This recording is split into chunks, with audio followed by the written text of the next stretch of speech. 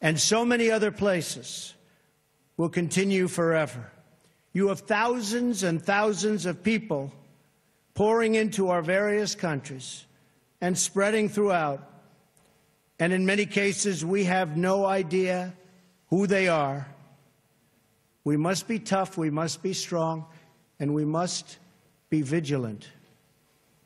The NATO of the future must include a great focus on terrorism and immigration, as well as threats from Russia and on NATO's eastern and southern borders.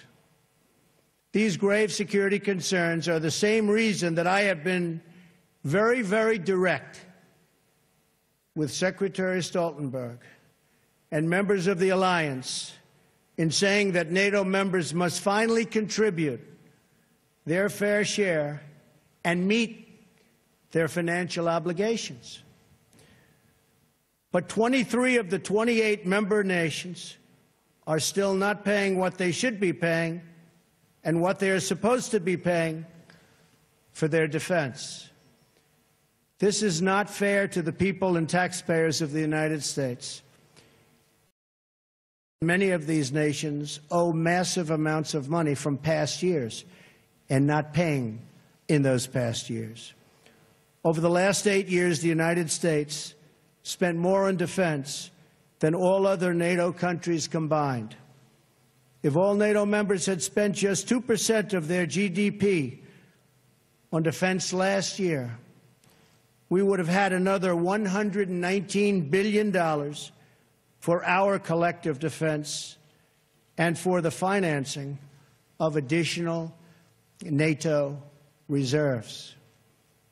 We should recognize that with these chronic underpayments and growing threats, even 2% of GDP is insufficient to close the gaps in modernizing, readiness, and the size of forces. We have to make up for the many years lost.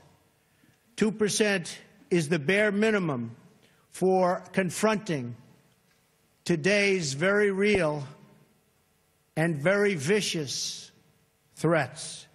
If NATO countries made their full and complete contributions, then NATO would be even stronger than it is today, especially from the threat of terrorism. I want to extend my appreciation to the 9 11 Memorial and Museum in New York for contributing this remnant of the North Tower as well as to Chancellor Merkel and the German people for donating this portion of the Berlin Wall. It is truly fitting that these two artifacts now reside here so close together at the new NATO headquarters. And I never asked once what the new NATO headquarters cost. I refuse to do that. But it is beautiful. Each one marks a pivotal event in the history of this alliance and in the eternal battle between good and evil. On one side, a testament to the triumph of our ideals over a totalitarian communist ideology bent on the oppression of millions and millions of people. On the other, a painful reminder of the barbaric evil that still exists in the world and that we must confront and defeat together as a group, as a world.